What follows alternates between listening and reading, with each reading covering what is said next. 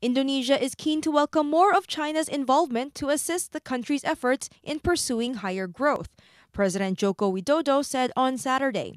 The president told Xinhua in an exclusive interview at the Bogor Presidential Palace that Chinese investment is particularly in need, especially in the infrastructure construction sector.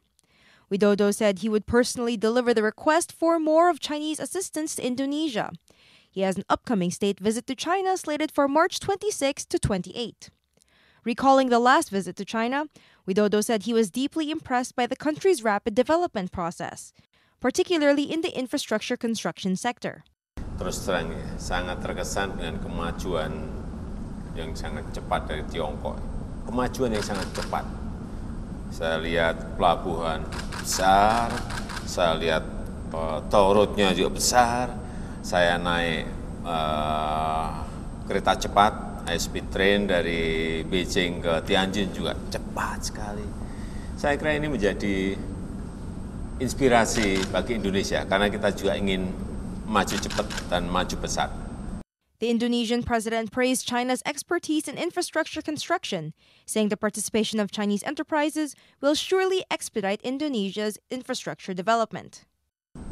Indonesia Tiongkok adalah teman lama, ya, teman lama, dan hubungan ini harus dipererat terus, ditingkatkan, terutama di bidang investasi dan perdagangan.